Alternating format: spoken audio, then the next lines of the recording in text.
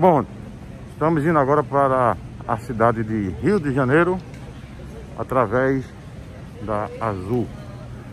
Voo agora de 8h55 da manhã. Vamos pousar no aeroporto de Santos Dumont.